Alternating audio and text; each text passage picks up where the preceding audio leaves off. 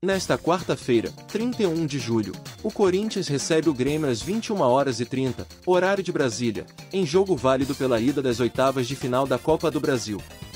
A bola rola na Neoquímica Arena, em Itaquera, São Paulo.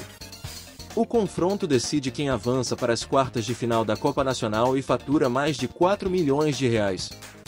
O jogo de volta agendado para quarta-feira, 7, segue sem estádio definido. O duelo Corinthians X Grêmio, pela ida das oitavas da Copa do Brasil, terá transmissão ao vivo para todo o Brasil na Globo, pela TV aberta, no Sport TV pela TV por assinatura. Além disso, quem tiver Premier, sistema pay-per-view do Grupo Globo também pode acompanhar a partida.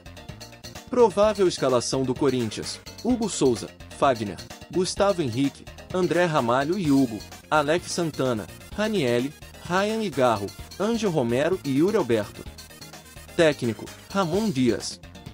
Provável escalação do Grêmio: Marchesim, João Pedro, Rodrigo Eli, Kahneman e Reinaldo, Vilas Anti, Carvalho, Edenilson e Natan, Cristaldo e Soteldo.